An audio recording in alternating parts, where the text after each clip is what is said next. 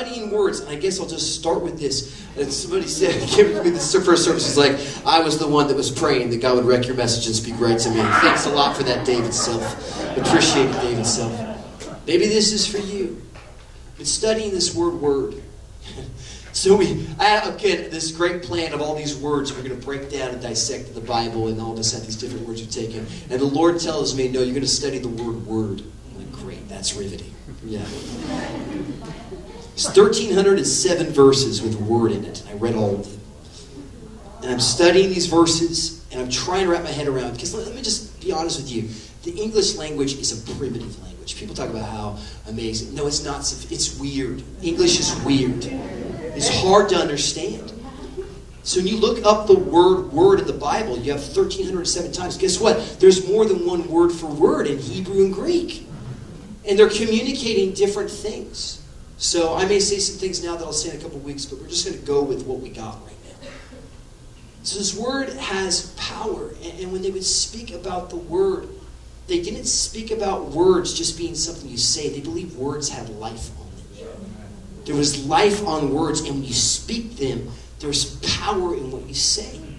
And what you'll notice is they, they have a different type of word to describe words called sayings. And a lot of what they refer to in just basic speech is sayings, but they would distinguish when you study words. There was our words and there were God's words. And God's word was powerful and it held things together. And I love the book of Hebrews. It's so powerful. I mean, one of the greatest assignments I ever received from a Bible college professor. Hardest class in all of our school was Hebrews. So I take this class, and he says, It's incredibly hard. Very few students ever get an A in this class, but I'm going to give you one out. Every time you read the book of Hebrews, I'm going to give you five extra credit points.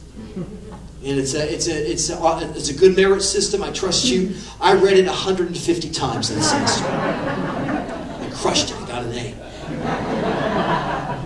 Best assignment of my life.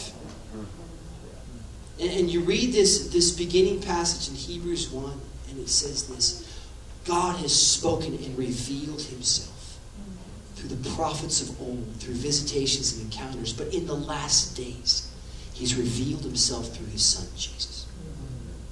He says Jesus has shown up, and you have this writer. It's probably not Paul, I'll be honest with you guys. You have this writer that we don't know by God's grace. I'm glad they thought it was Paul, so that it was in our canon.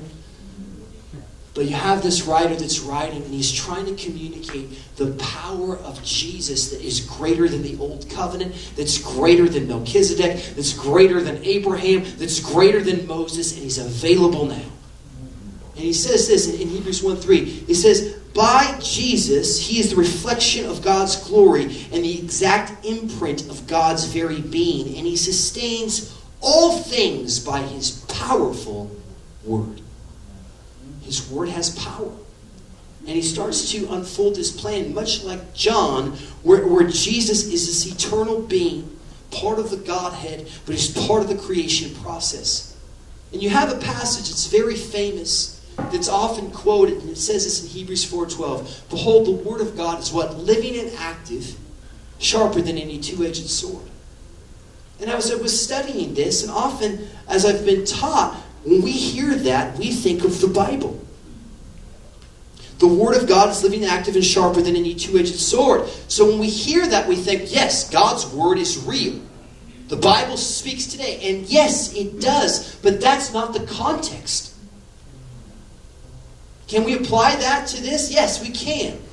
But what the author of Hebrews is saying is that Jesus' words are living and active, sharper than any two edged sword, and he splits bone and marrow, and he speaks today. He says, Therefore, don't harden your hearts like they did in the wilderness. And when you take that and you read that, they're not thinking, I better go get the Torah. Better go get my scroll. Better go get my papyrus. They couldn't even read. You know, you heard the Bible? You came to church on a Sunday because you didn't have access to it. You didn't have it on your phone. And they would come. But when they hear that, they think, I got to hear what Jesus is speaking to me now. His voice is speaking to me. He's everywhere. I got to hear it. I came across this haunting poem And I'm reading this book by John Ortberg, and I come across this poem. I had to read it twice. I'm like, did I just read what I thought I read? It says this. It's by this woman named Elizabeth Barrett Browning in the 1800s. She wrote hundreds and hundreds of poems. And she started writing at 11. Side note, it's never too young to start hearing God and recording what He's saying. Encourage your kids. This is what she says, and it's not on the screen because guess what? God changed the message yesterday. Earth is crammed with heaven, and every common bush afire with God. But only he who sees takes off his shoes. The rest sit around and pluck blackberries. Read it again. Earth is crammed, please close your eyes. Earth is crammed with heaven, and every common bush afire with God. But only he who sees takes off his shoes. The rest sit around and pluck blackberries. God is everywhere, and he's speaking. This isn't some pantheistic message about how God's going to speak through trees and animals. God is real, and he's alive, and he's trying to get your attention. He's speaking to you. Just trying to wrap where I'm going to go right now because I feel we go two paths. Watch the first service because we're going to do part two right now. Genesis chapter 12, verse 1. God speaks in a very clear way. Passage many of us have heard before. Let's turn there. Genesis 12, 1. Now the Lord said to Abram, Go from your country and your kindred and your father's house to the land that I will show you. Scholars consider this the fulcrum of the entire Old Testament. You ever sit like on a teeter tot? That middle piece that has it really centered is called the fulcrum. They say it's, it's so pivotal. This is the hinge point of the entire Old Testament. This verse right here. What Abraham does determines what happens for the rest of human history. See, before this, we have the amazing creation account, and we have this unfolding of God's power and this intimate relationship with humanity. But then we have a breakdown. Chaos ensues. And as God is trying to redeem his creation, he has to go back to that original plan he had. He has to send and give the glory. He says in this promise, Genesis 3, that he's going to bring the seed from the woman and crush the head of the serpent. So he's watching and he's waiting. As we know in the Old Testament, it says the Spirit of God goes to and fro from out the earth looking for those that worship him, Spirit of truth. Jesus says in John 4, you can read the others in the Chronicles.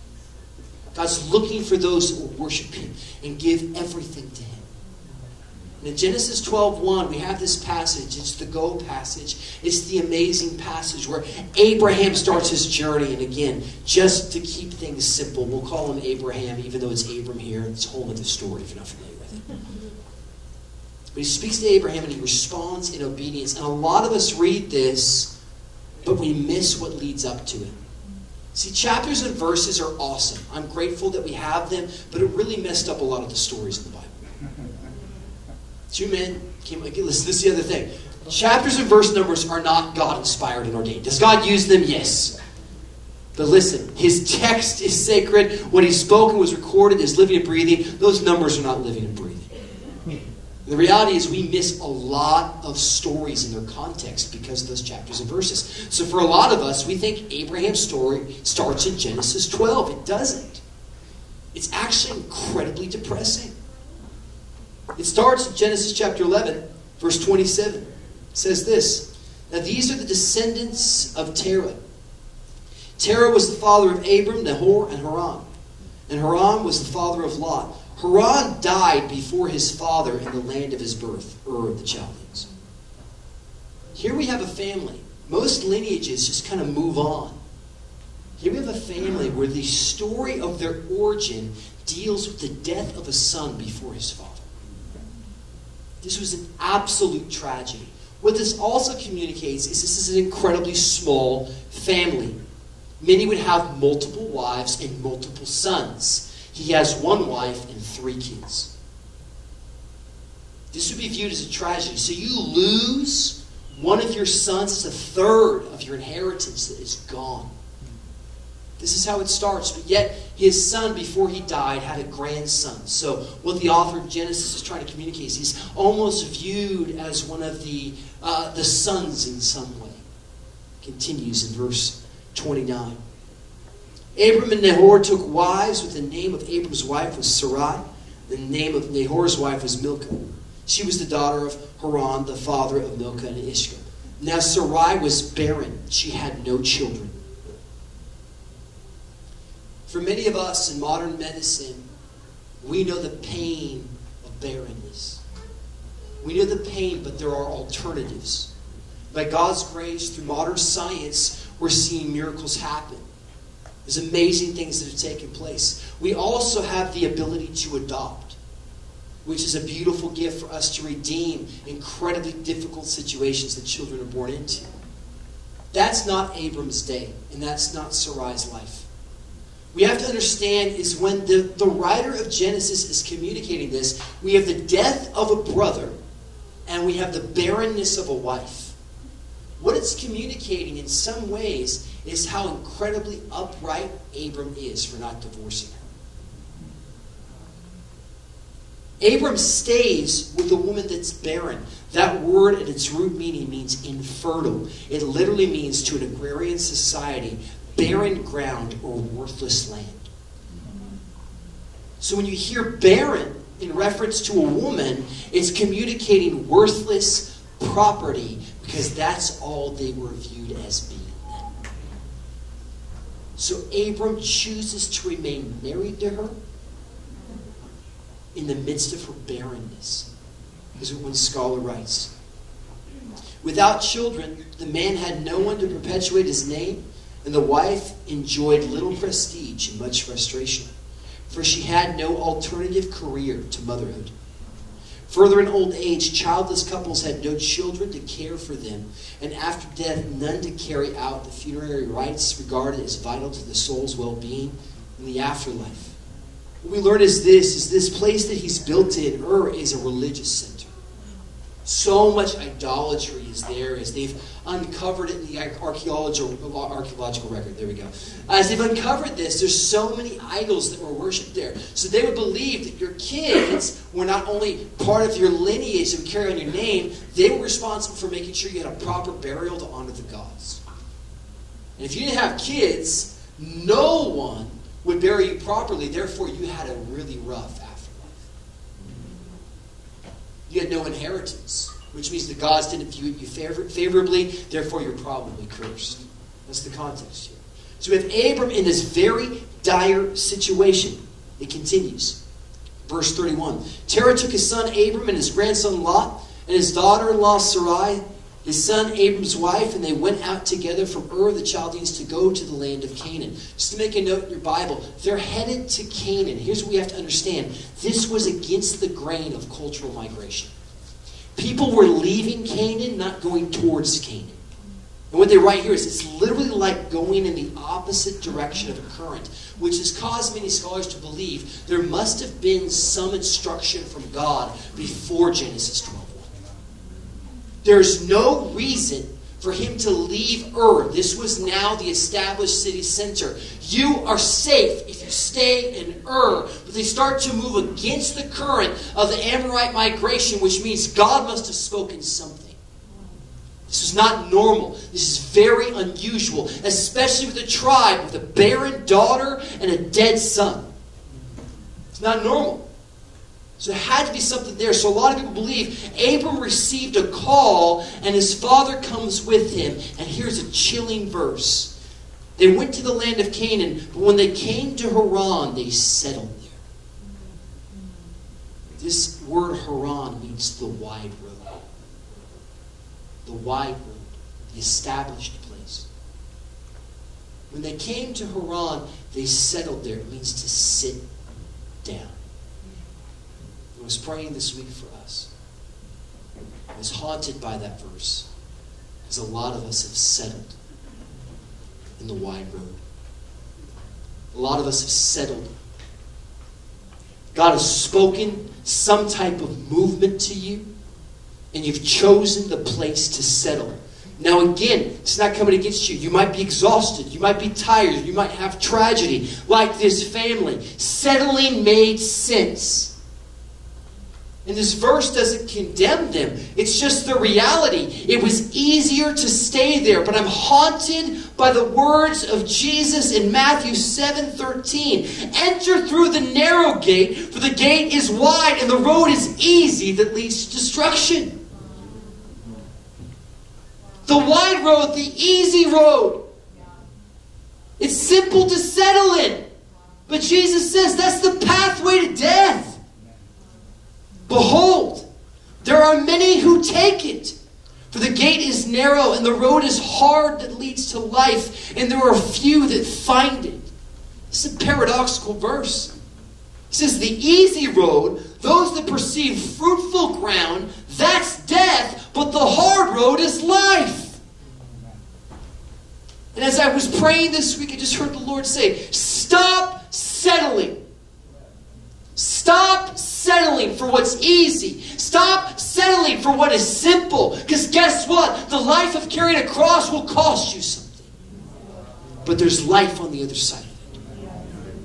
There's an eternal life. And what we get broken in church is this concept of eternal life. We think of other life when the Bible never says that. It's right now. There's a life that doesn't expire now that is available to you that gives what? Rest to your soul. A lot of us get ashamed talking about Jesus in our relationships with people that don't know Him. We assume that life in secular culture, what the Bible would call sin, is somewhat fulfilling. We assume that their life may have some semblance of ease because they communicate how great their life is. Listen, you will not have a soul rest without Jesus. There's a rest of the soul that only Jesus can satisfy. This is what he says Come to me, all who are weary and burdened, and you will find rest for what? Your souls. Just preaching messages of prosperity and great lives is not going to change culture. Yeah. There's a life that was transformed and changed through the power of the resurrection displayed through Jesus that's available to you now. We can't assume that sin is satisfying for our friends. You say, I struggle with Christianity stuff. Yes, it's tough. But there's a soul rest you have access to that the world does not. I find it, I hear it all the time. I listen to so much, so many podcasts, so many YouTube channels, listening to the ache of culture that's crying out for a savior to bring them sanity. They're trying to find it in politics. They're trying to find it in sexuality. They're trying to find it. This is a culture that needs a voice of clarity that's only found in Jesus. A soul rest only found in Jesus. And today he brought you here to let you know that he is what? The way, the truth, and the life. There's a life in him that only you can access through the cross. And a lot of us have settled for the easy road. But in the midst of settling, in the midst of difficulty, in the midst of this should be honestly where we just stay. I know there was a word to Canaan, but it's too hard to get there. What happens? God in His grace says, Go. See, one of the beauties of the Old Testament is we have, again, not the grace of the cross that has access for everybody, but we have a God that's gracious even in the midst of disobedience. You want to study the heroes of the Bible? They live jacked up lives. I mean, no one's walking away from the story of Abraham thinking, so, man, this guy crushed it all the time. I was listening to a lecture this week, and they were talking with a secular guy talking about Abraham's journey. He's like, I really don't understand why the Bible records so many of the errors of their patriarchs.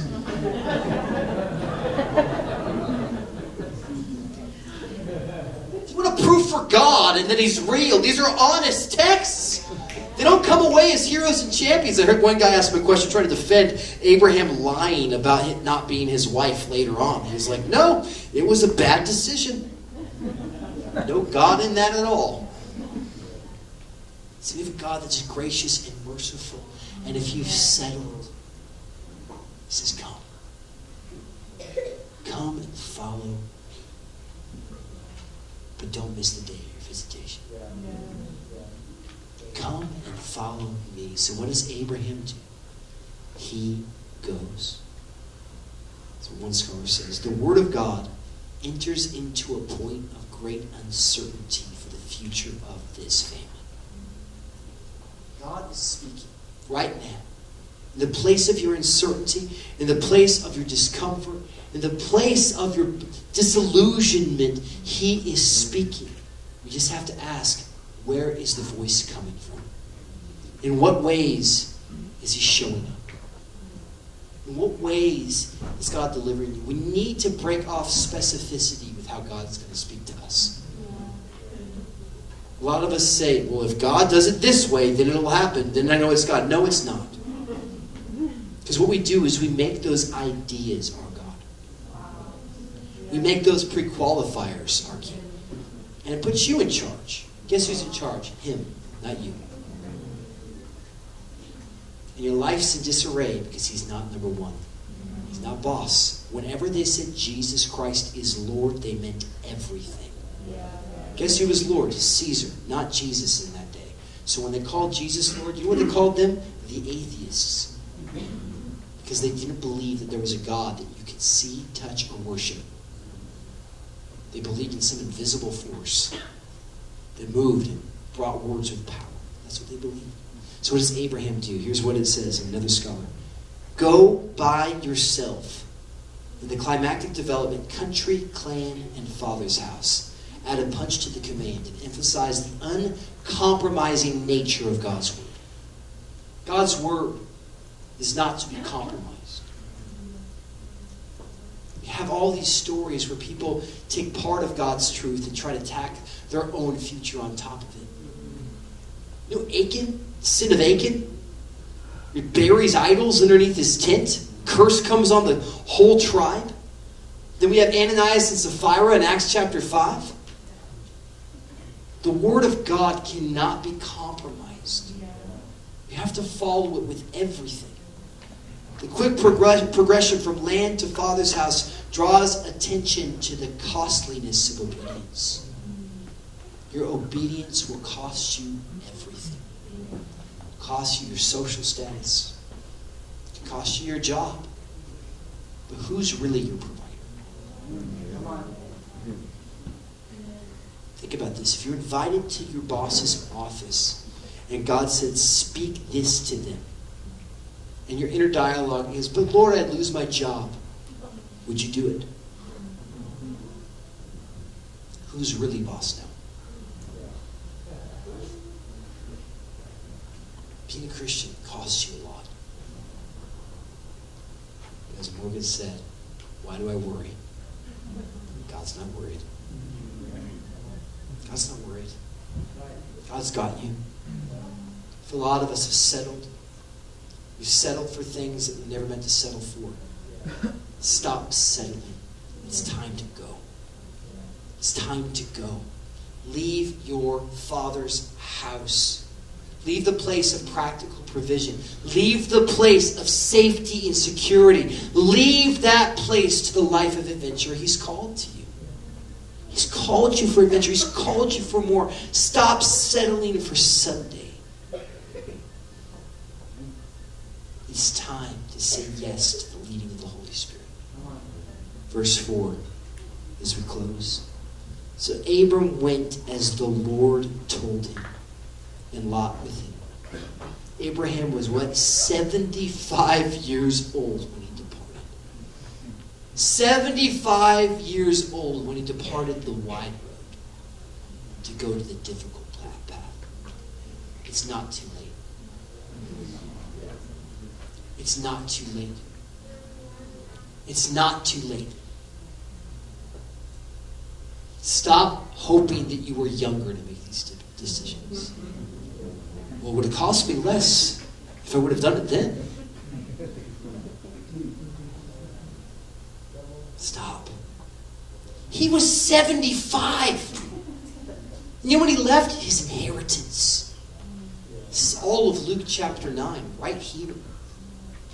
Luke chapter 9, when the three men come to Jesus and say, I'll be your disciple, but if, but if, but if. Abraham does all three of them in one. He leaves his father's house, leaves a funeral, which there's debate as to when his dad actually died, and he doesn't know where he's going. To a land unforeseen.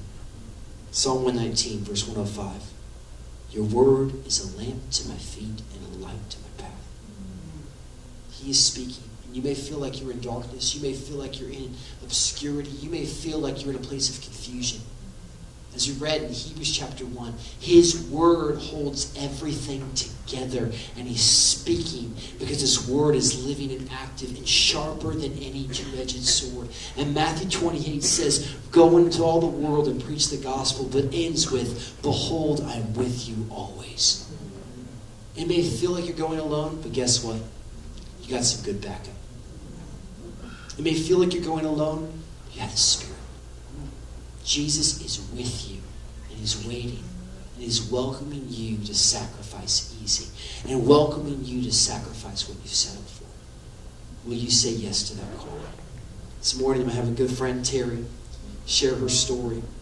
I will give warning. Her, her story is amazing and wild. If you have young ones here, uh, you'll probably have to talk through some things after the service, but I would encourage you don't take them out because the world's already trying to educate them in things that the church is intended to speak truth to. So this morning, I want to welcome a good friend, Terry Arana, as she shares. And going to be with her as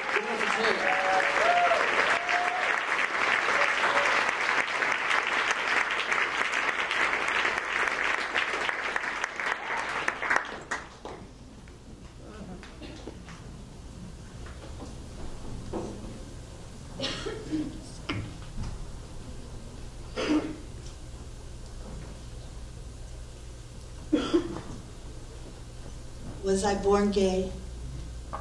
I was convinced I was. Born and raised in Southern California and Protestant, whatever that means. Jesus' birth at Christmas and prayers at holiday dinners only. June 13 of 1963, my brother Michael dies at age three. Tonsillectomy turned tragic. My dad blamed God and checked out and stayed at work. My mom got angry, and my brother Todd was lost, not quite a year old, searching for his big brother. December 4th of that year, I was born with a dislocated hip. in my late 30s, I would get an answer in part of why I thought I could never please my mom. Why she was always angry with me. My aunt in therapy with my mom disclosed that my mom hit her stomach while pregnant with me, screaming at God, Why didn't you take this one? I don't even know. As a young child, I was called a tomboy and my brother a fag. Just because I didn't wear girly clothes and I was better at sports than my brother at this age. On hot summer days, I ran around the neighborhood with no shirt on until one day my mom said, Terry, you need to go put a shirt on. And by the way, we need to get you a bra. Inside, I screamed, What the heck is she talking about? A bra? Yuck. I didn't understand why guys got to run around and I now was trapped. My first suicidal thought came at age six, sitting on the laundry room floor, crying out to God to take me. I couldn't take this life anymore. He brought my dog, and when he licked my face, this moment passed. There would be many, many more episodes throughout my life of self harm, always in fear of everything push pulled. Doctors, special ed tutors, speech teachers, summer school, not understanding anything and not understood. I was always in trouble and I didn't know why. Yelling and screaming was the norm. I was called the problem child. I was bullied and then became the bully my brother favored. Fourth grade, I heard that I would go, I wouldn't go to school because it was my first male teacher. But this was the year I witnessed a group of girls carving their names into their arms like tattoos. Sports were my outlet. Still fearful, but I was good at it and people would cheer me on. Boys would pick me for their team first, and after the game was over, so was I, passed over and never asked to dance. High school using alcohol, drugs got me accepted into the big guys on campus and those already out of school. My friends' families were more of a family to me, so I was never at home. First time I ever witnessed a mother reading her Bible and TBN on the TV. I always wanted to be over there, and my mom tried to stop me one day. She said, What is it? Are you guys lesbians? This would be the first time I put my hands on my mother and I slammed her against the wall. There would be many other demonic explosions throughout my life. I hated her and I loved her. They gave me a diploma, already told only money for my brother for college. And I never told about the volleyball scholarship offer from Long Beach State. There was no way I could cheat my way through college. And I thought I wasn't good enough anyways. That Thanksgiving dinner table, I was pressured by my family. What are you going to do with your life? Be a beach bum? So I did only what I knew how to do. I went to Laguna Beach, took way too much acid, and God interrupted my buzz and told me to go into the army and don't tell anyone. I was so scared. I took the test, I lost five pounds, and I was going to be a truck driver. Nobody wanted me to go in except my mother. 1983 basic training Fort Dix, New Jersey, there was a group of girls off to the side, and I wanted to be a part of their group. They shut me out because I would speak of hating homosexuals and spraying them with fire hydrants at the bus stops. One of these girls took me under her wing, and I had my first experience with her. But wait, my family and my friends would disown me. Off to Germany, heartbroken and rejected from this girl but not being a hater of gays anymore. Compassion. I met my husband. Yes, I was married. I met my husband, and when we finished our military duty, we moved to my hometown. Cocaine came into the picture. My closest friends told me they, they were all gay, and I told them about my experience. I started going to the gay bars with them and prayed out loud God, I would only leave my husband if he would cheat on me. My husband had no characteristics of unfaithfulness, but it happened. Later, the Lord would disclose to me that cocaine, meth, and heroin were literally the devil's potion. I started to use meth to lose weight, and now I was convinced I was gay and lived that lifestyle. 1989, miraculously, I passed the test in academy and became a youth correctional officer such a hypocrite with everything. Do as I say, not as I do. A coworker gave me a Bible and turned me on to Joyce Meyer. I never read the Bible, just kept it in my vehicle. I do remember when the subject of homosexuality came up, I said, Well, man wrote that, not God. So blind and so deaf. I always felt so much pain around me and through me that I would use more and more meth to harden my heart. People wanted me at their parties, but behind closed doors I was hitting walls, abusing loved ones, and killing myself, spiritually dead. 2003, I medically retired. I had a nervous breakdown and moved to Sacramento to get away from meth, but I just found it here hospital, psychiatrist, psychologist, diagnosed bipolar, a little schizo, my mom always yelling and screaming, personality disorder, manic, depression, anxiety, panic attacks, and last but not least, suicidal. The house I rented became a crack den, and I was a shot caller, demonic to say the least. All the pharmaceutical medications I was on were all weight gainers, and one Christmas morning, I found myself at my end. In the emergency room, 400 pounds, I couldn't breathe, and my shins were splitting down the middle and pouring out water. I cried out to God, If you are real, show me a sign. 2012, August 19th, I walked into Warehouse Christian Ministries in Sacramento to hear some music. The pastor said we are having an open baptism at the park later, and even if you were baptized as an infant and you re- re- and you respect Jesus, come and get baptized. I had so much fear in me, but I went, and supernaturally things started happening. Sexual encounters stopped, and I was comfortable sleeping on the couch. But, but I was still gay, right? My partner and I became domestic partners for legal purposes for rights in hospitals. And when the law said we could get married, I began making plans. I started hearing this voice inside me. Ask the doctors about medical marijuana. The doctor said I was a good candidate and I was off all pharmaceutical medications and using only alternative meds. At a Joyce Meyers conference in Sacramento I went to, I asked out loud, Jesus, if you're real, show me a sign. He showed me two. I said hi to this lady in a nice shirt. She was wearing a Joyce Meyers t shirt. She said nothing and left. Feeling embarrassed, I thought, oh, she must not have heard me. She came back and bought me a shirt and it fit. And when they played this season on TV, out of all those people, there I was, and Joyce talking about covering up scars. April 2014, the Sunrise Mall had an event called the 99. Live actors playing ultimate near death experiences, hell and Jesus at the cross. My partner and I said yes to prayer at the end. I had Ashley. I be able to thank you enough. And I said, I'm looking for more Thumper Church. I didn't even know what that meant or what even home church was. It just came out of my mouth. She told me about the Rock of Roseville.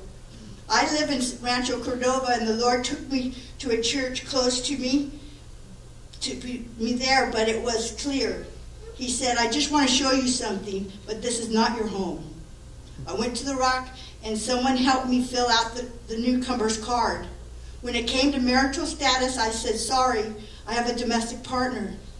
I don't even know why I was apologizing, but she said, that's okay, welcome. I was so scared, but the Lord told me to go to the front row and sit. I went to the middle of the front row, and a man came up to me and hugged me. It was Pastor Francis. I was not a hugger. and, and was like, who is, who is this guy? The Lord spoke to me that day and said, This is your home. Shortly after that, I was in, in my mobile home, and the heavens opened up, and an audible voice said, My word is true. I hit the deck and fell on my face. I was shaking, but I felt so much love.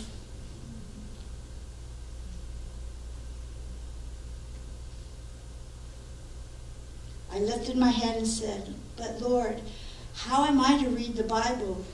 You know I cheated my way through high school, that's how I tell you. Then the soft voice came from my heart and said, That's why I brought you the Holy Spirit. He is going to teach you. The Holy Spirit started teaching me about tithings and giving, that it was about trusting God with everything. Pawn shops no more, praise God. Church altar call. If you have something you want to get rid of, come, give it to the Lord. I knelt down and said, Lord, take meth from me. I was supernaturally healed, 25 years of addiction gone, in Jesus' name.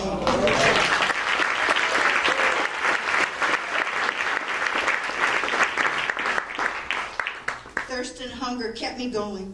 Reading the Word was amazing. God was speaking to me. I read Marriage Between a Man and a Woman. Told my partner we can't get married. No problem. She never thought she was gay anyways. that was a plus, right? But I thought I was still born that way. Then it happened. I was getting free food at this Catholic church, and a Christian African American older gentleman said to me, Abomination. I didn't even know what we were talking about, but I will never forget the look on his face. Did that just come out of my mouth? My stomach hurt. My stomach hurt so my stomach hurt. And I looked up this word on my roommate's phone when I got home. Homosexuality, an abomination to God. I hit the floor crying. God, how can this be? I thought I was born this way. I then saw a real to real vision of my life and choices I had made. I renounced and repented and have never struggled in this area again.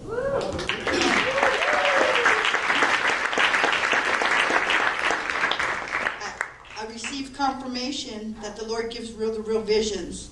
It was a healing night, and a, and a Muslim lady shared her testimony about an encounter with Jesus, a real to real vision of her life, and she gave herself her life to Jesus. I chose to go deeper and deeper. Every prayer group, every conference, two Dr. training, renouncing, repenting, and inner healing sessions. After fasting and praying 12 days, the Lord freed me from all medications. Five years, no alcohol, no cigarettes, no drugs, no meds, no sex on purpose, and no struggles in these areas. I am a beloved daughter, uniquely and wonderfully made. I am the bride of Christ, Christ in me, the hope of glory. I am just a normal Christian, a child of God, just like you. I love you.